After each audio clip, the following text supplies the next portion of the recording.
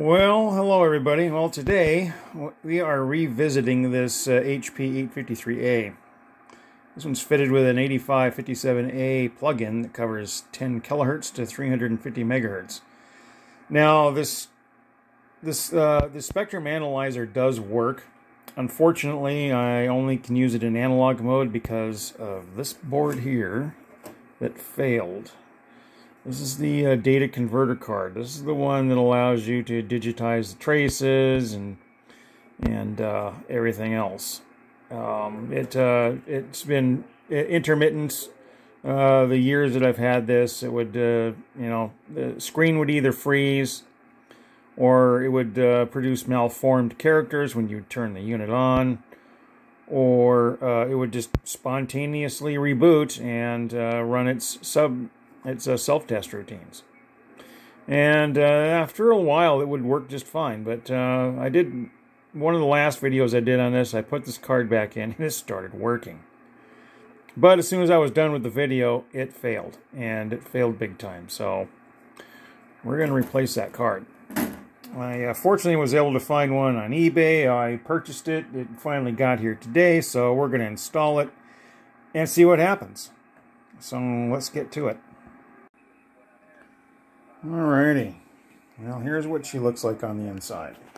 We have the, uh, the plug-in here.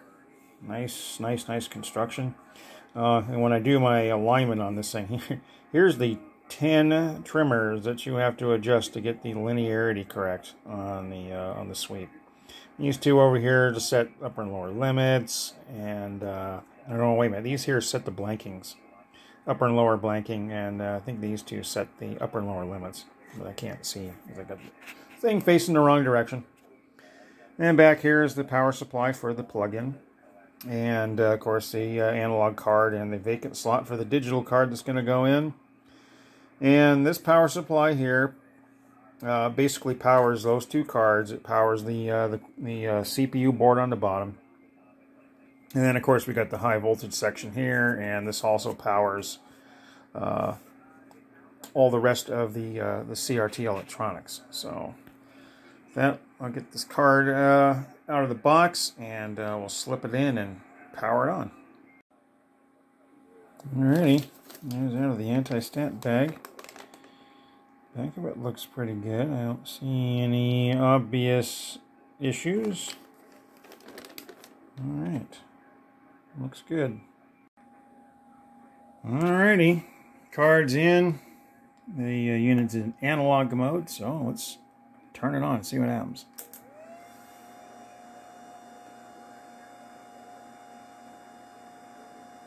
I don't see any magic smoke. We now have a trace. Alright, let's uh, turn on channel A. And it looks like we've got something here.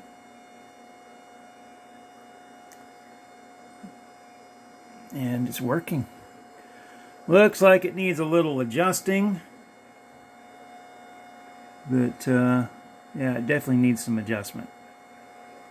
Coming from another, uh, coming from another machine. Well, interesting. Yeah, cool. Let's see here. Go back here now. Let's see if that works. And yes, that is working correct. Cool. Yeah, so now I just have to just go through the or the adjustment procedure for that card so that it's not overshooting the display there. Um, yeah, okay, good. Well, that's uh, that's a good start anyway. So we'll see what there is to do here next. All right, I had to do a few adjustments. The, uh, the traces were off a little bit, and now I have them aligned just fine. To, to initially start this, you hold in the, uh, the Graticule button and then turn the power switch on, and it comes up into these test routines. And this one here is the first one you align, and you use the X position, Y position, and the trace align controls. Trace align controls like a trace rotation, so you want that trace nice and flat and uh, right on the graticule line at the top. Then use the uh, the X position and the Y position to get that trace from one edge to the other with that center tick in the middle. And then move on to the next one. And this just basically shows you uh, everything's working. Uh, all, the, all the text is there. The ROMs are working just fine. And it shows this test pattern of the stair step. Make sure that the, uh, the DAC is working. Next one is uh, just basically a blank screen. It's for uh, testing other parameters. This one here shows you the uh, the characters. These are what you use to to adjust the focus. On these characters, but this, of course, this camera's not going to focus on that. But they look pretty good. The next one is where we go into the data converter card and adjust a couple of controls. The first one you're gonna you bring up this and if it's offset any, which it's not going to be vertically offset because we took care of that at the beginning, but horizontally it'll be too wide and offset. So you have to reduce the gain, and then there's another control you use to, to move the offset to get these these lines perfectly aligned with the graticule. After that, you're pretty much good to go. There's some focusing adjustments, but everything seems to be good enough. And uh, then you can just go through and step through some other subroutines uh, this tells you the actual sweep time that you're using. And then this is a routine that's run during boot up. There's another blank. This is another routine that's run at, uh, at boot time. And right now it's just going to just keep running it. And to get out of this, press and hold the trace and the graticule button.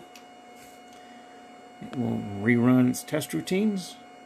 And there we go. So yeah, now all I got to do is uh, get the time to adjust those billions of. Uh, it seems like billions. Uh, those ten uh, trace adjustments. They're, it's pretty close as it is. I didn't have a uh, a comb generator when I first did this. I used my uh, my signal generator and I just generated the the signals I needed at 40 megahertz intervals.